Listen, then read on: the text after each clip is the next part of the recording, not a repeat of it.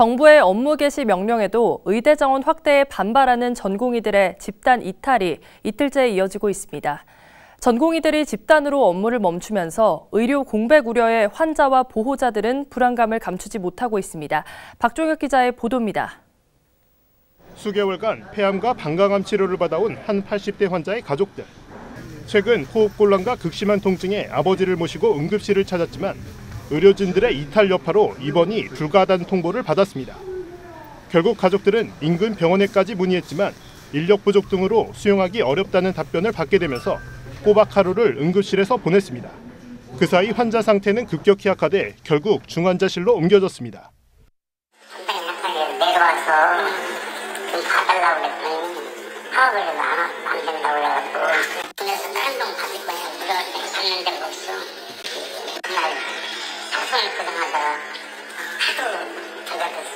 중환자실로 온라인 커뮤니티에서는 의료 파업의 여파로 갑자기 수술부터 연기됐다는 성토가 이어졌습니다.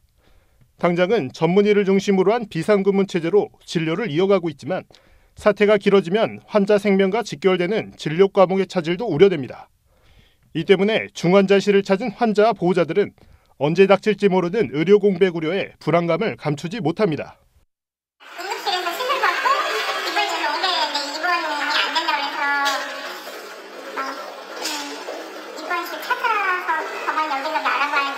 생겼고 정부가 업무 개시 명령과 함께 면허 박탈 등 강경 대응을 예고했지만 도내 의료진들의 집단 이탈은 여전했습니다.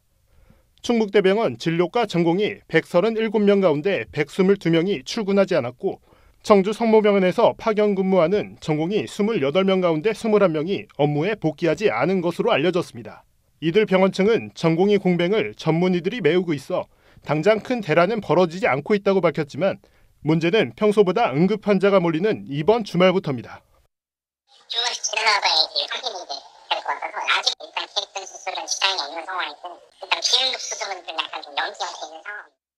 충북도는 사태가 장기화하면 공공병원인 청주와 충주의료원의 평일 진료 시간을 늘리고 휴일에도 진료를 보게 한다는 방침이지만 전공의들의 빈자리를 채우고 있는 교수와 전문의들의 피로도가 높아지면 환자 피해가 속출하지 않을까 우려가 커지고 있습니다. HCN 뉴스 박종혁입니다.